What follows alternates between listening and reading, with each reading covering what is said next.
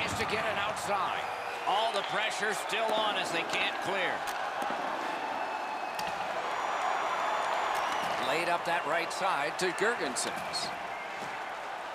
A slot wrister.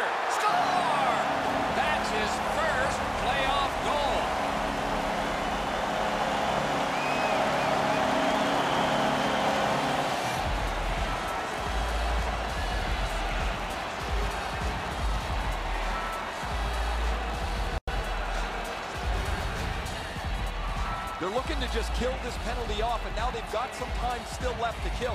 But what a bonus. A shorthanded goal to give them the lead.